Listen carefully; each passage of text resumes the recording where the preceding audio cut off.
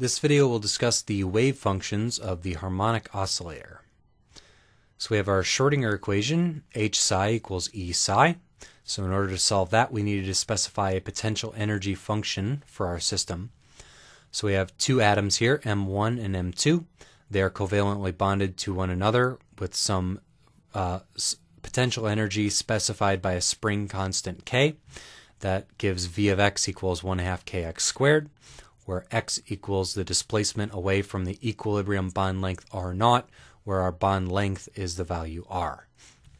So when we solve that Schrodinger equation with that potential energy function, we get that the energy of our system equals h nu times the quantum number n plus 1 half, n being a quantum number starting at 0 going up to infinity as an integer.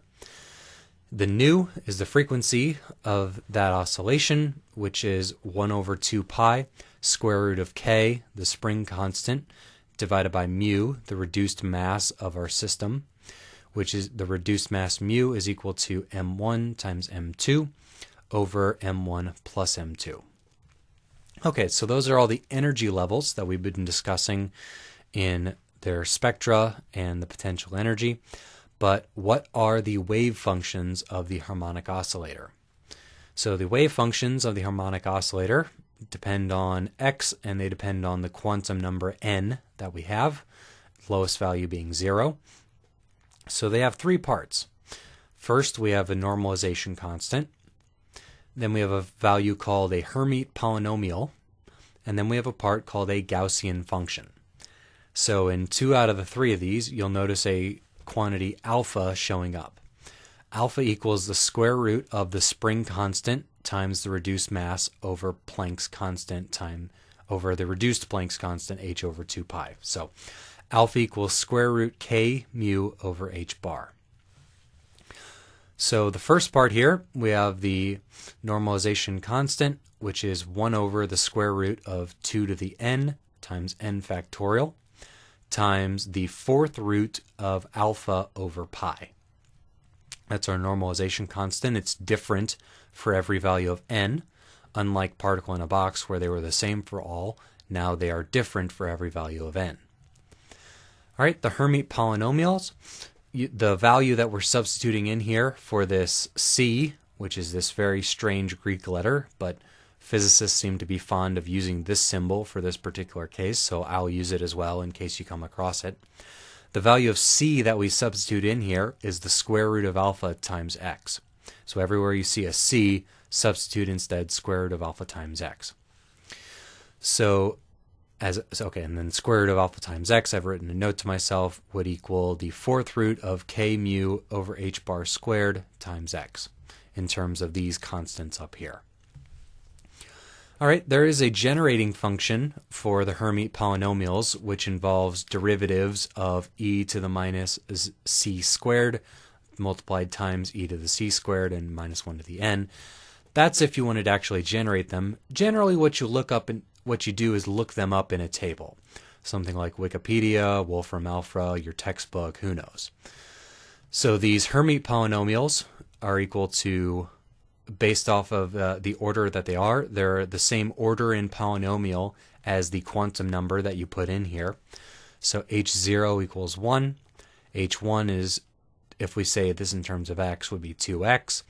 h2, 4x squared minus 2. h3, 8x cubed minus 12x, etc., etc., beyond there.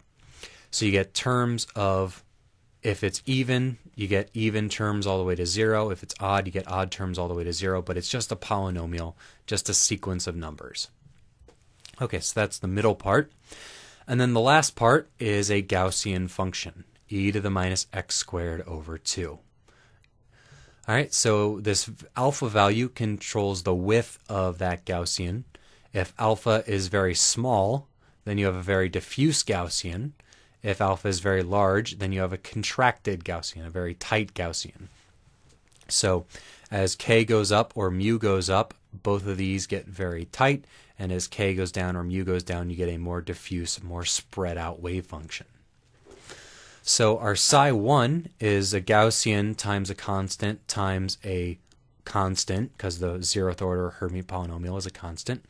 So psi 1 just looks like a regular old Gaussian function. Psi 2 is a Gaussian times a linear polynomial, which is a gives us two lobes, one positive, one negative.